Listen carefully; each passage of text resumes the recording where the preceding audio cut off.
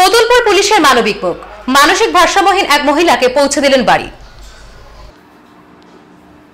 কোতুলপুর থানার পুলিশের মানবিক মুখ মানসিক ভারসাম্যহীন মহিলাকে পৌঁছে দিলেন বাড়ি। মানসিক ভারসাম্যহীন মহিলাকে বাড়িতে পৌঁছে দিলেন কতুলপুর থানার পুলিশ। বাঁকুড়া জেলার কতুলপুর থানার ভারপ্রাপ্ত আধিকারিক রামনারায়ণ পালের মানবিক মুখ প্রায় ষাট বছর বয়সী মানসিক ভারসাম্যহীন এক মহিলাকে উদ্ধার করে তার বাড়ি পৌঁছে দেওয়ার ব্যবস্থা করল কতুলপুর থানার ভারপ্রাপ্ত আধিকারিক রামনারায়ণ পাল। সূত্র মারফত জানা যায়, গতকাল রাত নটা নাগাদ কোতুলপুরের বনমুখা বাসস্ট্যান্ড এলাকায় প্রায় ষাট বছর বয়সে এক মহিলাকে ঘোরাফেরা করতে দেখেন ওই এলাকার বাসিন্দা ফিরোজ মোল্লা। ওই অপরিচিত মহিলাকে দেখে তার সন্দেহ হয়। তৎক্ষণাৎ কতুলপুর থানার ভারপ্রাপ্ত আধিকারিক রামনারায়ণ পালকে ফোন করে তিনি সমস্ত ঘটনা জানান। তড়িঘড়ি ওই এলাকায় পৌঁছন কতুলপুর থানার ভারপ্রাপ্ত আধিকারিক। এরপর ওই মহিলাকে উদ্ধার করে নিয়ে আসেন কতুলপুর থানায়। তার সঙ্গে কথাবার্তা বলে তিনি জানতে পারেন ওই মহিলা কিছুটা মানসিক ভারসাম্যহীন। তার নাম কাজল মুখার্জি। বয়স আনুমানিক ষাট বছর। বাড়ি খাতা থানা এলাকায়। এরপরেই কোতুলপুর থানার ভারপ্রাপ্ত আধিকারিক রামনারায়ণ পাল খাতনা থানার ভারপ্রাপ্ত আধিকারিকের সঙ্গে কথা বলে ওই মহিলাকে নিজের গাড়ি করে তার বাড়িতে পৌঁছে দেওয়ার ব্যবস্থা করেন। সম্পূর্ণ ঘটনায় কোতুলপুর থানা এলাকার মানুষ সাধুবাদ জানিয়েছেন কোতুলপুর থানার ভারপ্রাপ্ত আধিকারিক রামনারায়ণ পালকে। ফিরছিলাম আর কি। বাইকে ছিলাম রাস্তার পাশে একজন বয়স্ক মহিলাকে দেখলাম, ভদ্রমহিলাকে।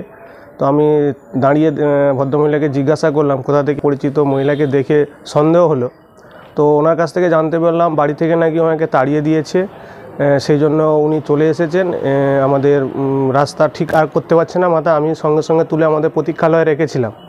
তো তারপরে আমি আমাদের কতুলপুর থানার যিনি ভারপ্রাপ্ত ওসি, সম্মানীয় রামনারায়ণ পাল মহাশয়কে খবর দিলাম এবং সবচেয়ে ভালো একটা মানে ভালো দিক দেখলাম, আমি খবর দেওয়া মাত্রই উনি ভ্যান পাঠিয়ে সেই ভদ্র মহিলাটিকে থানায় নিয়ে এসে আমাদের যেটা আমি জানতে পারলাম আজকে উনি আমাদের খাদরাতে রেফার করেছে এবং ওনার বাড়িতে পৌঁছে দেওয়ার একটা আশ্বাস দিয়েছে। তো আমার তরফ থেকে আমি ওনাকে ধন্যবাদ জানাব এত একটা দারুণ উদ্যোগ মানে দ্রুততার সঙ্গে নেওয়ার জন্য। এটুকুই। ভদ্রমহিলাটিকে দেখে বুঝতে পারা গেল, উনি তো বললেন যে আমার খাদরার জীবনপুরে বাড়ি। কিন্তু দেখে মনে হলো যিনি অ্যাবনর্মাল অবস্থাতেই ছিলেন মানে শারীরিক সুস্থতা ছিলেন না। তো ওনাকে আমি খাবারও কিছু কিনে দিয়েছিলাম, কিন্তু কাল রাতি সাড়ে দশটা পৌনে এগারোটা নাগাদ ওসি নিজে গাড়ি পাঠিয়ে আমিও ছিলাম স্পটে। গাড়ি, গাড়িতে তুলে, তার গাড়িতে নিয়ে এসে আমাদের কতুলপুর থানায় নিয়ে এলো এবং সেই মহিলাটিকে মানে একটা ভালো পরিষেবা দিলেন এবং খাদরা বা যেখানে ওনার বাড়ি, সেখানে পৌঁছানোর একটা ব্যবস্থা করলেন।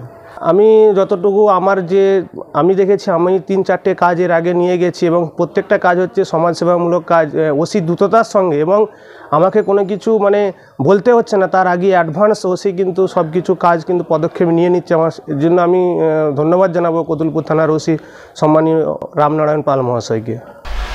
এই পর্যন্তই। পরবর্তী সমস্ত খবরের জন্য অবশ্যই চোখ রাখুন খবরিয়া টোয়েন্টি ফোরের পর্দায়। নমস্কার। নার্সিং ট্রেনিং এর বিশাল সুযোগ দিচ্ছে Gautam college.